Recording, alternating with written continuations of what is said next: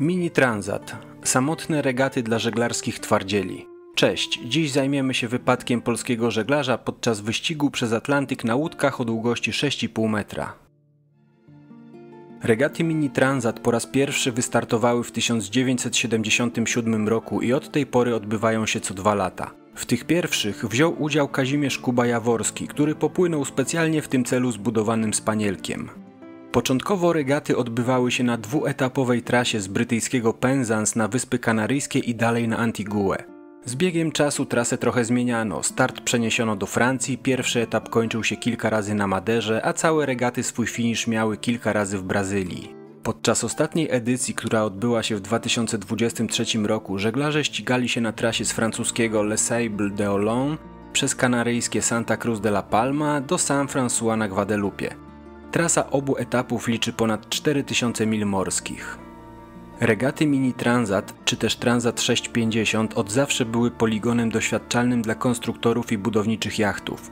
Łódki, które specjalnie do tych regat powstają, mają różne nowinki mające zwiększyć ich prędkość, są wykonywane z coraz lżejszych materiałów itd. Tak Wspomniałem, że Kuba Jaworski popłynął na specjalnie do regat zbudowanym spanielku ale nie wspomniałem, że łódka została zaprojektowana przez Gilberta Karofa, a za koncepcję spanielka odpowiadał sam Jaworski.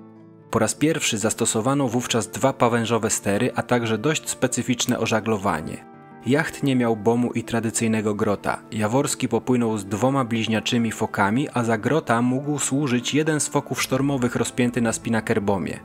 Spanielek był bardzo lekki, jego kadłub został zbudowany z węglowej przekładki, co sprawiło, że gotowa łódka ważyła zaledwie 650 kg. W kolejnych latach też eksperymentowano i dziś łódki budowane do regat są bardzo zbliżone, przynajmniej dla laika takiego jak ja. Długość maksymalna to 6,5 metra, szerokość 3 metry, a maksymalne dopuszczalne zanurzenie to 2 metry. To, co narodziło się w mini transacie, a dziś jest stosowane w innych regatach i czasem w turystyce, to m.in. groty o dużej strzałce tylnego liku, listwy przez całą szerokość grota, dodatkowy balast wodny na burtach, węglowe maszty, kadłuby z kompozytów, uchylne płetwy balastowe, bulby na końcach kilów czy dodatkowe miecze dziobowe. Czasem pojawiają się też kontrowersyjne nowości, jak choćby bardzo pełne, niemal półokrągłe dzioby bez tradycyjnej stewy dziobowej. Do tej pory w regatach Mini Transat Polacy startowali siedmiokrotnie, przy czym o ile się nie mylę najlepszy rezultat uzyskał na innowacyjnym spanielku Kazimierz Kuba-Jaworski, do mety dopłynął jako drugi. Obecnie jachty biorące udział w regatach dzielą się na seryjne i prototypowe. Klasa łódek seryjnych jest tańsza, jachty są niemal identyczne i zabronione jest stosowanie niedozwolonych rozwiązań i materiałów. W tej klasie najważniejsze są umiejętności skiperów. Klasa Proto to już zupełnie co innego, niemal kosmiczne technologie, rozwiązania jakich jeszcze nikt nie widział, bardzo lekkie materiały itd. Tak Podstawowe wymiary łódek już przytaczałem, ale dodatkowe zapisy regulaminowe mówią o całkowitej wysokości od spodu kila po top masztu nie większej niż 14 metrów. Ważnym warunkiem jest też konieczność samoczynnego powrotu jachtu do właściwej pozycji z przechyłu 100 stopni z postawionymi żaglami i dodatkowym obciążnikiem o masie 45 kg zawieszonym na topie masztu. Oczywiście wszystkie wymogi regulaminowe są ważne i jeśli chodzi o klasę Proto, to podejrzewam, że są teamy, które mają sztab prawników szukających jakichś luk w regulaminie, żeby dołożyć do łódki coś, czego konkurencja mieć nie będzie, a co zwiększy szybkość. W środowisku żeglarskim regaty Mini Transat są uznawane za regaty prestiżowe, a jednocześnie nie aż tak kosztowne jak choćby wokółziemskie Vendée Globe, podczas których samotni żeglarze płyną na 60-stopowych maszynach regatowych. Na początku wspomniałem, że dziś opowiem historię polskiego żeglarza i tak też będzie. Jeśli już trochę mnie słuchacie, to wiecie, że nie będę podawał jego personaliów, bo taką mam tu zasadę, ale dla chcącego nic trudnego. Chętni bez problemu go wygooglają. A teraz słowo o jachcie. Łódka nosiła nazwę Kalbut, oczywiście od nazwy sponsora i startowała z numerem 894 na burcie. Kalbut był jachtem kategorii prototypu Ocean 650 zaprojektowanym przez bardzo cenionego i utytułowanego francuskiego projektanta jachtów mini Etienne'a Bertranda.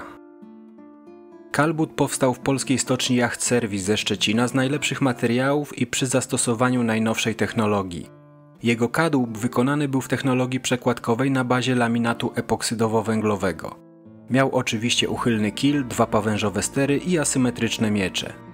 Ocean 650 to bardzo lekka i wytrzymała konstrukcja, która w połączeniu z żaglami o powierzchni 43 m2 w kursach na wiatr i 130 m2 w kursach z wiatrem dawała możliwość bardzo szybkiej żeglugi, nie wyłączając ślizgów.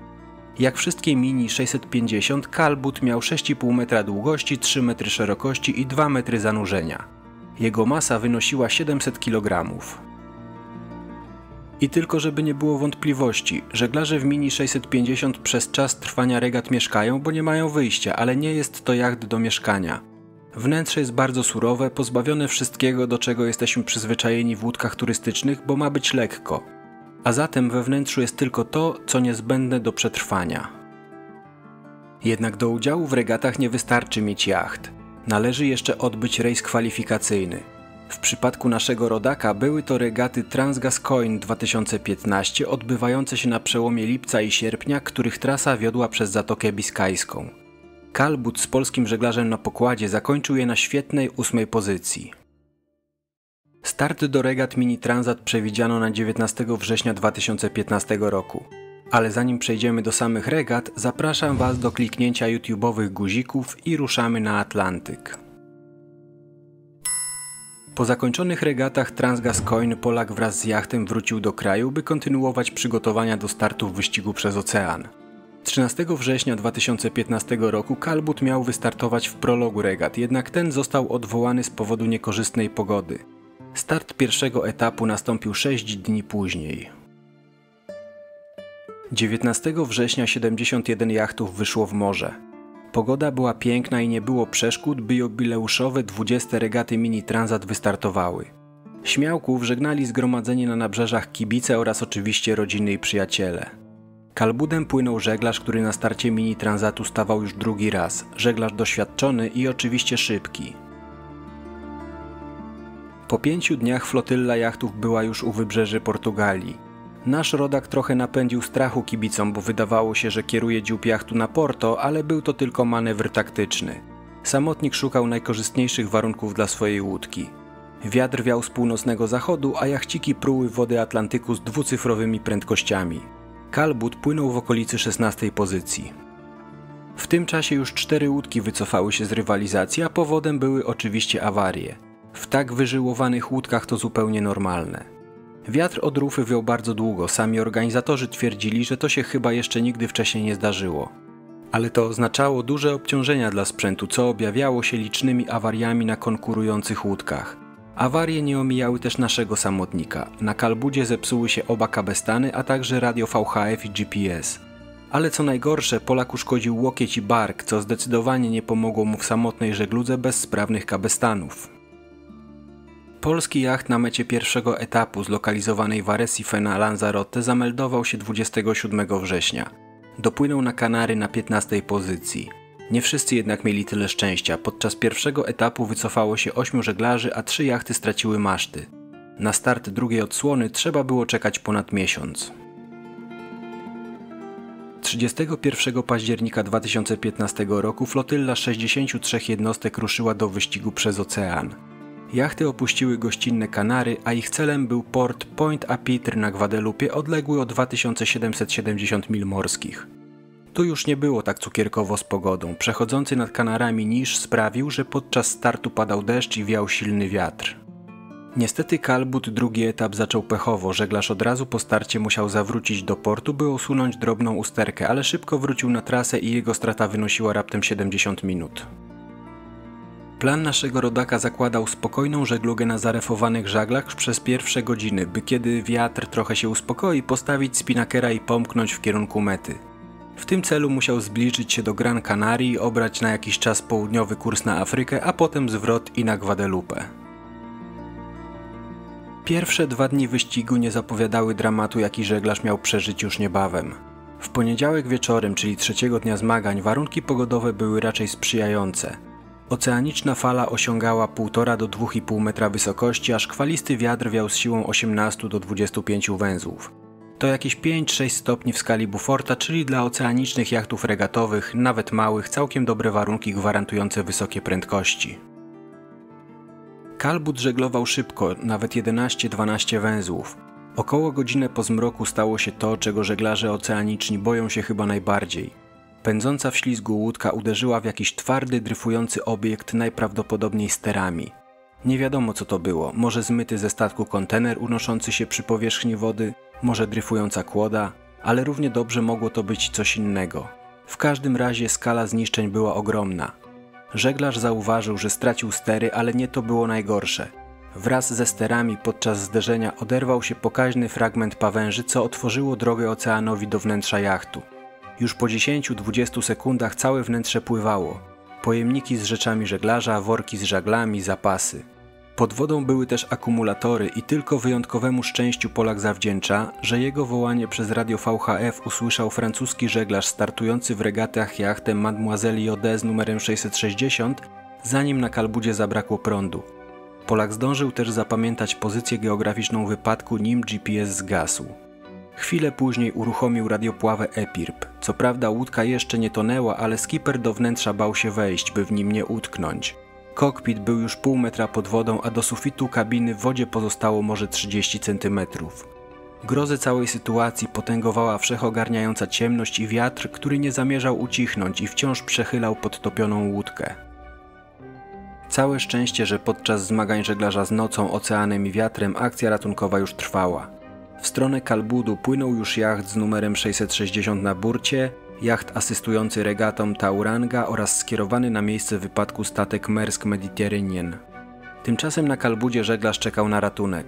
Niestety nie był w stanie wydostać tratwy ratunkowej umieszczonej w schowku na pawęży. Rufa jachtu była już dobry metr pod wodą. Przy tonącym jachcie najszybciej pojawił się płynący do Las Palmas statek. Niedługo po nim dopłynął jacht z numerem 660, a jako ostatni jacht Tauranga. W związku z tym, że jacht Polaka nie był w stanie manewrować, przejście bezpośrednio na potężny tankowiec było niemożliwe, ale tu z pomocą przyszła Tauranga. Kiedy ratujący ustalili już strategię podjęcia Polaka z wody, trafiła się okazja do przejścia bezpośrednio na pokład asystującej łódki. Po prostu obie łódki, Tauranga i Kalbut, znalazły się na tej samej fali. Szczęśliwym trafem na jachcie tym były transportowane na Guadalupe rzeczy osobiste naszego żeglarza, a zatem nie został on z niczym. Kiedy rozbitek wraz z jachtowym grabbagiem był już bezpieczny na Taurandze około drugiej w nocy, ta podeszła do burty statku i Polakowi pozostało już tylko wspiąć się 14 metrów w górę po sznurowej drabince wzdłuż stalowej burty handlowego kolosa. Statek Maersk Mediterranean z polskim żeglarzem na pokładzie dotarł do Las Palmas w nocy z 4 na 5 listopada 2015 roku. Na miejscu Polak mógł liczyć na pomoc kolegi oraz organizatorów regat i innych żeglarzy klasy Mini 650. Jacht najprawdopodobniej ostatecznie zatonął, choć dowodów na to nie ma. Równie dobrze jego wrak mógł zostać wyrzucony gdzieś na afrykańskie wybrzeże. Sprawy nie badała Państwowa Komisja Badania Wypadków Morskich. Nie do końca wiem z czego to wynika, być może z ustawy o Państwowej Komisji Badania Wypadków Morskich, która mówi o tym, że komisja nie bada wypadków jednostek bez napędu mechanicznego. Ale nie oznacza to, że nie da się wyciągnąć z omówionego wypadku wniosków. Pierwsze wyciągnął sam żeglarz. Otóż stwierdził on, że obowiązkowe przy tych regatach szkolenia z zakresu bezpieczeństwa i procedur, a także szczegółowe kontrole wyposażenia są bardzo potrzebne. Na własnym przykładzie sprawdził, że w momencie zagrożenia wszystko się natychmiast przypomina i pomaga przetrwać zagrożenie. Jeśli zaś chodzi o zderzenia z dryfującymi obiektami, tu chyba żeglarze nie bardzo mają się jak bronić. Radar takiej unoszącej się tuż nad lub pod powierzchnią wody przeszkody nie wychwyci. Ludzkie oko też może mieć z tym problem, zwłaszcza nocą czy przy zafalowanym morzu. Trzeba się pogodzić z tym, że takie wypadki się zdarzają. Natomiast przeciwdziałać skutkom takiego zdarzenia już można, choćby przeznaczając skrajnik dziobowy jachtu na szczelny przedział zderzeniowy, którego uszkodzenie nie zatopi jednostki. Tyle, że w takim przypadku jak wypadek kalbudu będzie on bezużyteczny.